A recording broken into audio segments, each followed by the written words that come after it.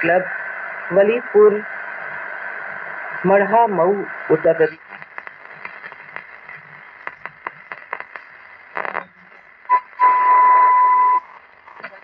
तक पहुँचा है मोहाली पंजाब से।